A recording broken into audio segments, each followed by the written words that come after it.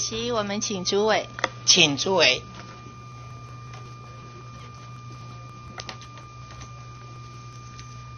好，刚刚你不敢回答叶委员，那回答本席，你认为为了反跨媒体垄断，NCC 愿不愿意跨部会整合提出专法来处理这个问题？本会会就执掌范围之内，会提出我们该有的修法或是所以要专法，还是要放在广电三法相关的条文？广电三法的版本已已经有大院的委员提出提案了。是不是？那要不要专法？本本会的执掌跟向来立场呢，都是在整合的我们所主管的法令里面提出一致的规范。有四个字啊，现在正在上演。这四个字叫做“欧龙水斗”。来，我们其实不喜欢这样的主委。呃，我先请教主委，今天全国人民第一次看到，原来有线电视这么好赚，赚很大。主委，你速度提起说确实有调降空间，有线电视收费确实有调降空间，是不是？是谁的责任？是 NCC 的责任还是地方政府的责任？我们各在自己的执掌范围之内都有努力的空间。啊，你的责任在哪里？我们有第一个是收费标准定上呢，已经很多年没有检讨修正的，这我们所以确实该做。上限要检讨，对不对？对，确定要检讨了哈。对是不是确定要检讨？是多久可以检讨好？今年来得及吗？还有一个月，呃，还有两个月。哦，还有三个月哦，现在差不多在审费率，十月、十一月、十二月，立即在今年赶快把上限修订，可以吗？我诚实回答，今年直接就落实到费率核定有困难。好，今年来不及，三个月把上限下修来不及，这个就是无感执政。哎，马总统说台湾的经济发展要一个月有感呢，然后呢，今天费率都帮你算好了，你只不过把六百元的上限往下调，结果三个月都还要无感。你要不要修正一下？三个月内，因为今年大概是十一月、十二月开始审费率啦，十月就有各县市开始审了啦。今年要来得及的话，其实回去一个礼拜就可以出来啦。这是政策啦，这不是成本计算，成本利益计算很清楚。来，要不要让他今年适用？今年调不调？我们会检讨，但是今年去调不调我诚实跟委员说明的就是不调嘛？今年哈纳入这个是无。感 NCC 哦，哈，好，有线电视今年不会调。来，地方政府无可奈何，责任百分之百都在 NCC。这是我以一百年的分析，我们高雄最大的两家港都庆联来看，诸位九十七年度以港都来讲，它的利息全年是零，没有利息。九十八年的上半年，它的利息整个公司利息钱才两千块。庆联也一样，九十七年度全年的利息只有三千四百万，可是到九十呃九十八年上半年，甚至于减少成为一千八百万。可是九十八年度的时候，港都的利息上半年只有两千块钱哦，不是两千万哦，上半年两千块的利息，到了下半年的时候，它的利息钱是三亿八千五百五十九万九千元，而庆联呢，它在九十八年上半年的时候，它的利息才只有一千八百万，可是到全年计算，下半年加进来就有一亿八千八百五十四万四千元的利息哦，不是贷款哦。为什么？主委为什么？呃，委员所说的现象确实是他显然借款的数额为什么呢增加？。对啊，为什么会在这个时候突然借款这么多？呃，容委员让我回去了解他详细的。好啦，因为中家哈、在九十八年的下半年完成并购啦。换句话说，一并购，我们的有线电视立即无缝接轨，承袭了这个母公司的所有的债务。所以你说地方政府怎么可能降价？因为送进来的财务报表全部都是亏钱的。来，大家看一下，九十八年的时候，港都跟九十九年的时候的港都，我们来看，九十八年下半年十二月才完成并购，但是它已经开始减少哈。我们从九十八年来看，毛利率四十四点四十四趴哦，港都毛利率四十四趴，九十九年毛利率也达四十二趴，营业净利也就是扣除管理费用呢，还有二十二趴跟二十五趴。问题就出在这里，税前净利合并前的税前净利跟营业净利差不多，税前净利除了税以外，利息就扣掉了。但是合并后利息一扣掉，马上税前净利剩下四趴，剩下四趴，从二十五趴变成四趴，全部被这种母公司的秃鹰投资集团拿去付利息。然后呢，全年的税后净利变成负的，庆年也一样。合并前全部都大赚钱，九十八年刚合并，十二月刚合并，所以九十八年呈现出来，它最后都还赚二十趴，最后都还赚十八趴。可是，一合并的时候，一家变成亏一趴，一家变成亏十四趴。我们再以三年的成发展来看，以我们港都来看。毛利九十六年三十六、三十八、四十五到九十八年一路成长，庆年也是它的毛利九十八、九十六年到九十八年三十二趴、三十七趴、四十一趴一路成长，扣除了营运成本的营业净利也是一路成长，九十六年十二趴，九十七年十七趴，九十八年二十五趴，庆年也是一路成长，从九十六年的十三趴变成二十一趴，变成二十四趴。在合并前九六九七年，他们扣除利息跟扣税完了以后的税前净利都还有十二趴跟十六趴，然后庆联都还有十五趴跟二十趴。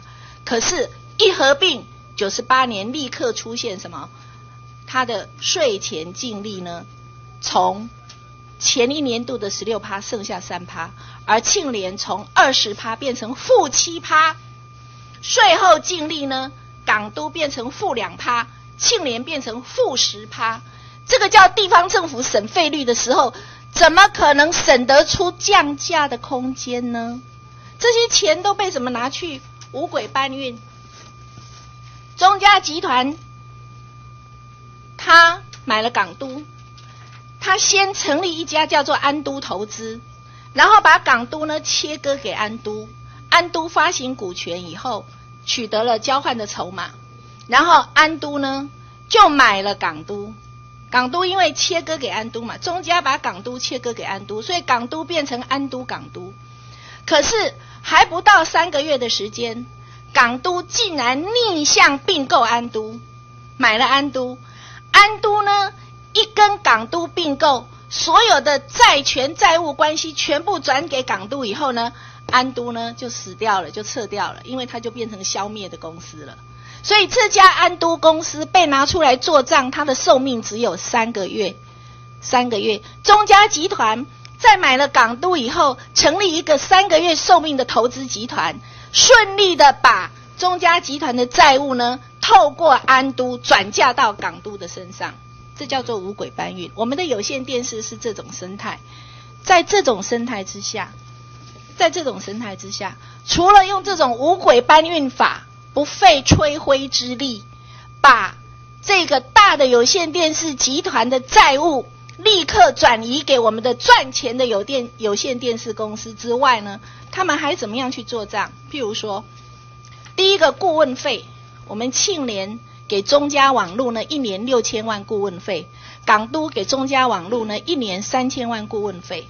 然后借贷，九十九年六月二十五号，我们庆联港都集团借新还旧借贷了三百一十三亿，其中借新还旧只替庆联还二十三亿六千，替港都还五十三亿七千九百万。换句话说，庆联港都集团被中家拿去借贷三百一十一一十三亿里面呢？扣除真正的借新还旧替庆联跟港都还债呢，有两百三十五亿六千万不知去向，也就是被集团拿到本业以外去用，成为他的提款机。除此之外呢，还用编预算，有顾问费，有贷款由他付利息，替他付利息，然后还还怎么样呢？港都编了三十八点九一亿，庆联编了七十八点九亿，总共一百一十七点八一亿，做什么？跟母公司买商誉啦，买品牌啦，买一个月球上的空气啦，一百一十七亿。所以整个我们台湾整个有线电视，就在现行的生态之下，我们所有的客户替他们赚钱，但是不断的被转卖，不断的被拿来做财务的杠杆，不断的被掏空，不断的被什么被当做提款机，不断的被吸水吸血。在这种情况下，做出这种账，地方政府怎么可能有降价的空间？唯一的方法就是你 NCC 把六百元的上限往下压，压到完全压缩这种无轨搬运的空间。所以本席说。百分之百的责任在 NCC，有线电视降价，百分之百的责任在 NCC。好，我讲完了这种生态以后，血淋淋、赤裸裸的秃鹰在吸血的生态以后，你还要容许它明年一年继续这样吸血赚钱吗？我再问一次，当我讲完以后，我再问一次，你今年要不要来得及降价？我们一定在我们权限范围内尽快处理该做的事情。今年要不要处理？非常的精准。今年要不要处理？让明年一月一号开始使用？要不要？我们尽快。要不要？我们尽快。要不要在今年做？我们一定全力朝着方向去做。好，一定朝这个方向去做，不排除今年降价，是不是？啊，也诚实跟委员说过有困难。哈，所以你说尽量去做又是糊弄嘛？换句话说，今年不可能降价，是不是？今年。十二月以前不可能调降，让各县市现在马上在审。其实各县市现在正在审呐，很重要啦。你现在一降，明年就可以按合理收费了，明年就不必再让这些秃鹰这样子在赚钱了。你还要容许他们这样做了？你还要容许他们这样做了？这就是十四好时代。十四好啊，来本席请问你哈，你希望在你的任内，你一年叫这些？有线电视集团数位化的百分比，你要叫他们做多少？你要叫他们做多少百分比？目前政府定的目标是要在这二零一四年的时候达到百分之百。二零一四年百分之百，你知不知道现在二零一二年的时候现在多少趴？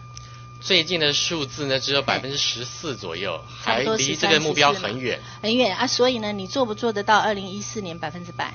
有困难，实话实说。好，那你一年要多少？一年要几趴？我们希望他。哎，他们很多钱哦，他们很多钱哦，钱很多，拿去做集团的整体运用、操作杠杆哦。哈啊，可是他们却不投资数位化哦。那你现在要要求他数位化，要不然你就要求降价。降价跟数位化加速进行，你一定要二选一。好，你数位化，你一年要几趴？数位化跟降价最好是并行。好，那你要几趴？有魄力。我们希望它是呈等比级数的前进，因为按现在的进度真的是太明年几趴？明年几趴？等比怎么等比？我要知道你一年要几趴，你都说不出来哦。一年数位化要求几趴？十四毫，你任内要要求有线电视业者一年数位化的比例是几趴？你的政策宣示让我知道要几趴？